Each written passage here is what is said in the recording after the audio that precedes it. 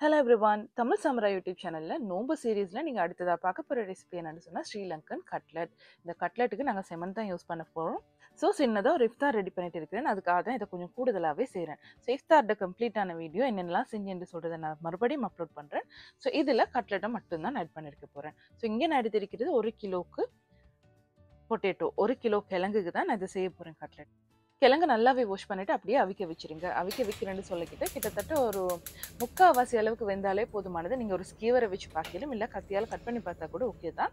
நல்லா அமர்ந்துட்டு போதுன்னு சொன்னால் ஓகே அந்த அளவுக்கு குக் பண்ணாலே போதுமா இருக்கும். அதுக்கு பிறகு நீங்கள் என்ன செய்ய வேணும்னு சொன்னால் இதுக்கு தேவையான அளவுக்கு வெங்காயத்தை கட் பண்ணி எடுக்க வேணும். ஸோ இந்த வெங்காயத்தையும் ஃபுல்லாக நீங்கள் கட் பண்ணி எடுத்துட்டீங்கன்னு சொன்னால் அது செப்பரேட்டாக வச்சுக்கோங்க.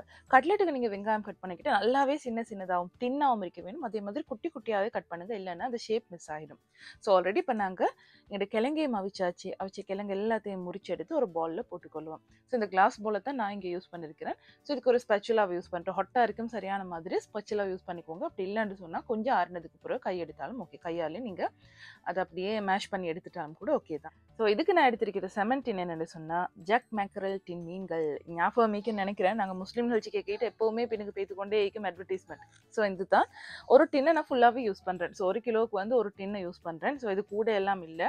கடையிலலாம் சில டைம் குறைய யூஸ் பண்ணுவாங்கன்னு சொல்லுவாங்க. ஆனால் இந்த டேஸ்ட்டுக்கு இருந்தால் தான் வீட்டில் செஞ்ச மாதிரி சரி ஒரு ஃபீல் இருக்கும் ஸோ இந்த அளவுக்கு ஆட் பண்ணிவிட்டு இதையும் ஃபுல்லாக நல்லா மசிச்சு விட்ருங்க ஒன்றோட ஒன்று சேர்கிற அளவுக்கு.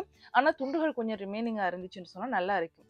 கிழங்கு ஃபுல்லாக மசிஞ்சால் கூட ஓகே தான். பட் இந்த ஃபிஷ்ஷில் வந்து சின்ன சின்ன பீசஸ் அங்கங்கே இருந்துச்சுன்னு சொன்னால் இன்னும் டேஸ்ட்டாக இருக்கும். ஸோ கறியை நாங்கள் ரெடி பண்ணிடுவோம் ஆயில் கொஞ்சம் ஆட் பண்ணியாச்சு. கருவேப்பிலையை நல்லா அரிஞ்சு கொஞ்சம் ஆட் பண்ணிடுங்க கருவேப்பிலையை ஆட் பண்ணினதுக்கு பிறகு நாங்கள் ஆட் பண்ண வேண்டியது ஜிஞ்சர் கார்லிக் பேஸ்ட் நான் ஃப்ரெஷ்ஷாகவே நான் இன்றைக்கி அறுத்திருக்கிறேன். இடிச்செடுத்தது தான். ஸோ அது கொஞ்சத்தையும் போட்டுட்டு ஃபுல்லாக ப்ரௌன் ஆகிற வரைக்கும் வைக்காதீங்க. நல்லா ஒரு வாசம் கொண்டு வரும் இல்லையா? அந்த மாதிரி வாசம் வந்தாலே போதுமாக இருக்கும். ஸோ அந்த வாசம் வந்ததுக்கு பிறகு நாங்கள் இதுக்கு ஆல்ரெடி கட் பண்ணி வச்சிருக்கக்கூடிய இந்த சின்ன சின்ன வெங்காயம் எல்லாம் இருக்குது இல்லையா? ஸோ இது எல்லாத்தையும் ஆட் பண்ண வேணும். ஸோ இந்த வெங்காயம் ஆட் பண்ணுறதோட அண்ட் ஒன் மோர் திங் நான் மறந்துட்டேன் என்னென்னு சொன்னால் நாங்கள் ஆரம்பத்திலேயே க்ரீன் சில்லியையும் அந்த ஜிஞ்சர் கார்லிக் பேஸ்டோடய ஆட் பண்ணிட்டோம்னா நல்ல வாசமாக இருக்கும். டேஸ்ட்டும் நல்லா இருக்கும். ஸோ ஒனியன் இதில் போட்டுட்டு கொஞ்ச நேரம் சோட்டே பண்ணினீங்கன்னு சொன்னால் இதில் இருக்கக்கூடிய தண்ணி எல்லாமே எவப்பரேட் ஆகிரும் ஸோ கட்லெட் வந்து ஈரமாக இருந்துச்சுன்னு சொன்னால் வெடிச்சிருன்னு சொல்லுவாங்க. ஸோ அதில் இருக்கக்கூடிய தண்ணி எல்லாம் எவப்பரேட் ஆகிற அளவுக்கு வச்சிடுங்க. அதே மாதிரி இந்த ஒனியனை கட் பண்ணி வச்சிடுற நேரம் இருக்கும் இல்லையா? கொஞ்ச நேரம் டைம் இருக்குதுன்னு சொன்னால் நீங்கள் சோல்ட் ஆட் பண்ணி அதை வச்சிட்டிங்கன்னு சொன்னால் அது அப்படியே தண்ணி எல்லாமே லிக்விட் எல்லாம் வெளியாகிரும் ஸோ அதை வடிச்சும் எடுத்துக்கொள்ளையிலும் நல்லா புழிஞ்சிட்டு. ஸோ அப்படி இல்லைன்னா இந்த மாதிரி சோட்டே பண்ணிக்கொள்வது இன்னொரு டிப் என்னென்னு சொன்னால் நாங்கள் ஓவர் குக் பண்ணிட்டோம்னு சொன்னால் சில நேரம் கிழங்கு ஓவர் குக் ஆகிட்டு அதுவும் நிறைய தண்ணி இழுத்திருக்கும் ஸோ அந்த ஈரப்பதம் போகணும்னு சொன்னாலும் நாங்கள் ஃபர்ஸ்ட்டுக்கே இந்த கிழங்கையும் இதோடைய போட்டு குக் பண்ணிட வேணும். ஸோ அதில் இருக்கக்கூடிய அந்த தண்ணி தன்மையெல்லாம் போயிட்டு கொஞ்சம் ட்ரை ஆகிற வரைக்கும் அதையும் குக் பண்ணி எடுத்துட வேணும். அதுக்கு பிறகு இப்போ நாங்கள் குக் பண்ணுற மெத்தட்லேயே குக் பண்ணிட்டு போவோம். ஸோ இதுக்கு தேவையான அளவு மசாலா ஆட் பண்ணுறேன் என்னென்னா ஒரே ஒரு டீஸ்பூனுக்கு ஒன் டீஸ்பூனுக்கு மஞ்சத்தூள் அதோடைய சேர்த்து ரெண்டு டீஸ்பூனுக்கு மட்டும் கறி பவுடர் சரக்கு தூள் இருக்குதுல்ல அதில் ரெண்டு டீஸ்பூன் ஆட் பண்ண வேணும். ஸோ இதை நாங்கள் செய்ய போகிறது கம்ப்ளீட்டாக மிளகுக்கு தான் மிளகுக்கு செஞ்சால் மட்டும்தான் இது கடையில் உள்ள டேஸ்ட்டுக்கு வரும். ஸோ மிளகுலையும் ரெண்டு டீஸ்பூன் ஆட் பண்ணியிருக்கிறேன் பிள்ளைகளும் இருக்கிறதுனால தான் நான் குறைச்சி ஆட் பண்ணியிருக்கிறேன் காரமாக வேணும்னா கொஞ்சம் கூட போட்டுக்கோங்க. கட்டர் தூள் இதுக்கு ஆட் பண்ணிடாதீங்க சில்லியும் ஆட் பண்ணிடாதீங்க இந்த ரெண்டையும் ஆட் பண்ணினா அது கடையில் இருக்கக்கூடிய அந்த டிப்பிக்கல் ஸ்ரீலங்கன் கட்லெட் ருசி வராது. ஸோ அது சுட்டி தான் இதுக்கு மிளகு மட்டும்.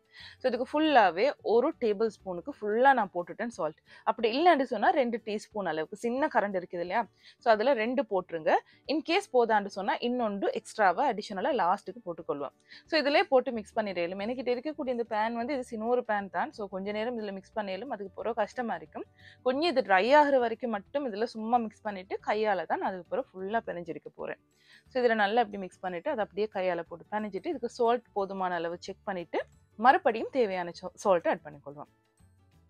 இதெல்லாம் முடிஞ்சிருச்சுன்னு சொன்னால் அடுத்ததாக கட்லெட்ஸ் எல்லாம் அளவுக்கு நாங்கள் பிடிச்சி எடுக்கிறது தான் ஸோ இந்த கட்லெட் அளவு வந்து ஒவ்வொருத்தருக்கு ஒவ்வொரு சைஸுக்கு மாதிரி தேவைப்படும். ஸோ நான் இங்கே வந்து ஆக்கள் வாரான்னு சொல்லிக்கிட்டு குட்டி குட்டியாக பிடிச்சோன்னு சொன்னால் அழகாக இருக்காது. ஸோ அதனால கொஞ்சம் பெரிய சைஸ்லேயே எடுப்போம்னு சொல்லிட்டு அந்த மாதிரி தான் கட்லெட் எல்லாம் செஞ்செடுக்கிறேன். இப்போ நீங்கள் பார்க்குறது ஏலக்காய் கருவப்பட்டை கராம்பு. இதை மூணையுமே பவுடர் பண்ணி நான் வச்சிருக்கிறது. கொஞ்சமாக தான் இப்போ இருக்குது. ஸோ இது நல்ல வாசத்தை கொடுக்கும். இதுலேயும் கொஞ்சத்தை ஆட் பண்ணி கொண்டீங்கன்னு சொன்னால் இன்னமும் வாசமாக இருக்கும். ஸோ நான் நிறைய காரம் இப்போக்கு எட் பண்ணாமல் வைக்கிறது என்னன்னா நோம்பும் கூட. ஸோ அந்த ரீசன்னால தான் பட் கொஞ்சமாக இதில் ஸ்ப்ரிங்கிள் பண்ணிவிட்டு அதையும் அப்படியே மிக்ஸ் பண்ணி விட்டுட்டேன். இந்த கட்லில் பிடிக்கிறதுக்கு முன்னுக்கு. மெயினாக நான் இதை யூஸ் பண்ணுறது எதுக்குன்னு சொன்னால் டெய்லி நல்ல டீக்கு தான். டீக்கு அவ்வளோ டேஸ்ட்டாக இருக்கும். ஸோ மசாலா டீக்கு இதை யூஸ் பண்ணிடுவேன். ஸோ இந்த மாதிரி தான் கட்லெட்லாம் பிடிக்க ஆரம்பிச்சாச்சு. கட்லெட் பிடிக்கிறது கொஞ்சம் நேரம் டைம் எடுக்கும் தான். ஸோ பொதுவாக நாங்கள் இப்படி பிடிச்சி வச்சுட்டு கையிலே வச்சுட்டு சும்மா ரோல் பண்ணினோம்னு சொன்னால் அந்த ஷேப் வந்துடும் கைக்குள்ளே.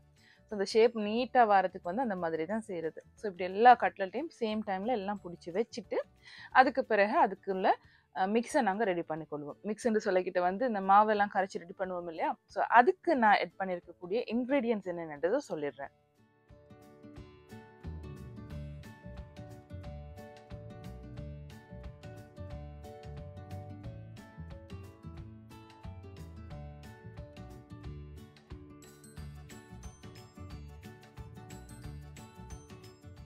ஒன் கப் ஆஃப் ஃப்ளா ஒரு கப்புக்கு மாவு எடுத்துக்கோங்க. அதோடைய சேர்த்து ஒரு முட்டை இல்லைன்னு சொன்னால் ரெண்டு முட்டை. ஸோ எனக்குன்னா இங்கே ஒரு முட்டை போதுமாகிருச்சு ஒரு முட்டையோட சேர்த்துட்டு அரை கப்புக்கு மாதிரி வாட்டர் ஆட் பண்ண வேணும். ஸோ இந்த வாட்டர் ஆட் பண்ணுற அளவு இருக்குது இல்லையா? ஸோ அது எல்லாமே எப்படின்னு சொன்னால் நாங்கள் இப்படி ஃபுல்லாக மிக்ஸ் பண்ணினதுக்கு பிறகு அதை நாங்கள் ஊற்றி பார்க்கக்கிட்ட வந்து மிச்சம் ரன்னியாகவும் இருக்கக்கூடாது. டக்குன்னு ஊற்றிட்டு போகும் இல்லையா? அந்த மாதிரியும் இருக்கக்கூடாது. நல்லாவே திக்காக இருந்துச்சுன்னு சொன்னாலும் கஷ்டம். நல்லா திக்குன்னு சொல்லிக்கிட்டு நாங்கள் இந்த பலகாரம் எல்லாம் செய்கிட்டு பைத்து பலகாரம் எல்லாம் செய்கிட்டு இருக்கோம் இல்லையா? ஸோ அந்த கன்சிஸ்டன்சியில் இருந்தால் கூட கஷ்டம் தான். அதை விட கொஞ்சம் தின்னாவே இருக்கட்டும். அப்படி இல்லைன்னு சொன்னால் இது வெடிக்கும். ஏன்னா ரெண்டு முறைக்கு நாங்கள் கோட் பண்ணி எடுக்க போகிறோம் ஸோ மிச்சம் திக்காக இருந்துச்சுன்னு சொன்னால் அது கஷ்டம். ஒரு ரப்பரியாக இருக்கும் ஸோ அதனால் இந்த மாதிரி. இந்த அளவுக்கு இருந்தால் போதுமா இருக்கும். ஸோ இதில் தான் நான் மிக்ஸ் பண்ண போகிறேன் இதை அப்படியே ஃபுல்லாக இதில் கோட் பண்ணிவிட்டு அதுக்கு பிறகு அதை எல்லாத்தையுமே நான் திரும்பவும் பிஸ்கட் தூள்னு சொல்லுவோம் நாங்கள் பிரெட் க்ரம்ஸ் இருக்குது இல்லையா? பிரெட் க்ரம்ஸில் அப்படியே கோட் பண்ணி எடுத்து வச்சிருவேன்.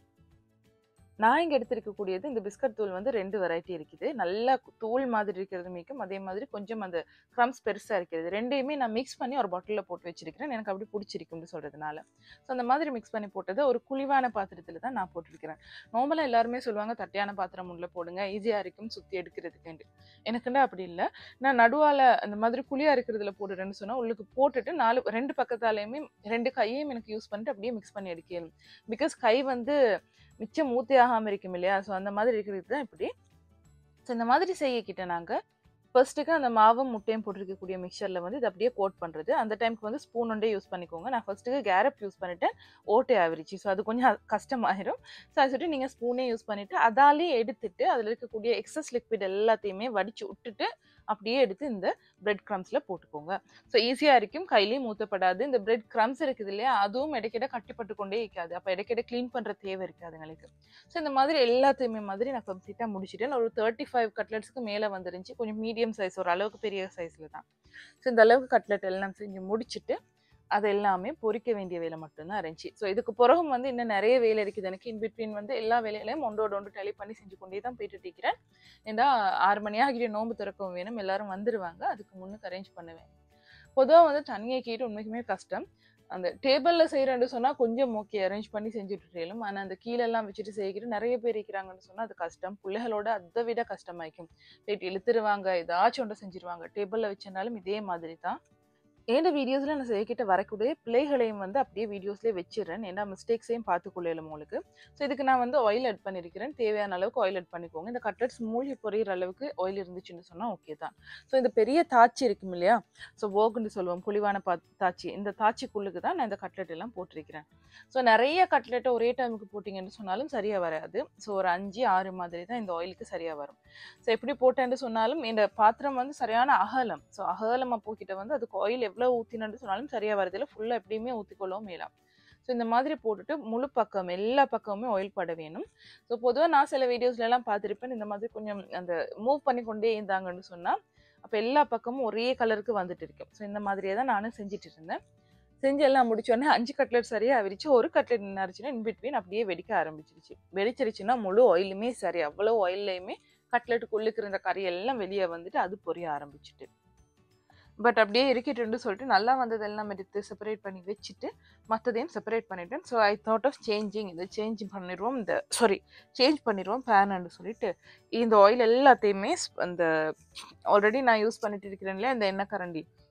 இந்த கரண்டியே வச்சுட்டு வடிச்சிட்டேன். வடிச்சிட்டு ஒரு சட்டி ஒன்று இருக்கும் நான் பொதுவாகவே வந்து அதில் பொரிக்கிறதுக்கு யூஸ் பண்ணுறது தான் ஸோ மிச்ச நாளாக யூஸ் பண்ணிட்டு இருக்கக்கூடிய சட்டி. ஸோ எனக்கு இது கம்ஃபர்டபுளாக இருக்கும்னு சொல்கிறதுனால இதுலேயே நான் ஊற்றி எடுத்துட்டேன். ஸோ இதில் ஊற்றிட்டு இதுலேயும் அதே அளவுக்கு நான் போட்டு பொரிக்க ஆரம்பித்தேன் இதில் அந்த இஷ்யூஸ் வரல. எனக்கு ஒரு கட்லெட் கூட வேஸ்ட் ஆகலை. லைட்டாக கொஞ்சம் அது பிளா கொஞ்சம் உடையிற மாதிரி விளங்கினான்னு சொன்னால் கூட நான் உடனே எடுத்துட்டேன். பெரிய அளவுக்கு வச்சுட்டு இருக்கல மீடியம் ஃப்ளேமில் வச்சு எல்லா கட்லெட்டையுமே மாதிரி நான் பொறிச்சு எடுத்துட்டேன். ஸோ மீதி கட்லெட் எல்லாமே மாதிரி நான் இந்த பேன்லேயே போட்டு ஃபுல்லாகவே பொறிச்சு எடுத்துட்டேன். ஸோ இதோடய முடிஞ்சிருச்சு என் வேலை கட்லெட் இது. ஸோ மற்றபடி செய்ய வேண்டியிருந்தது எல்லாத்தையும் செஞ்சு முடிச்சிட்டேன். ஸோ அந்த வீடியோ நான் ஆல்ரெடி சொன்ன மாதிரி தான் அடுத்த வீடியோவில் அப்லோட் பண்ணிடுறேன். ஸோ கட்டாயமாக இந்த சேனலை நீங்கள் சப்ஸ்கிரைப் பண்ணிடலன்னு சொன்ன இந்த சேனலில் தமிழ் சாமராய்னு சொல்கிற யூடியூப் சேனலை சப்ஸ்கிரைப் பண்ணிக்கோங்க.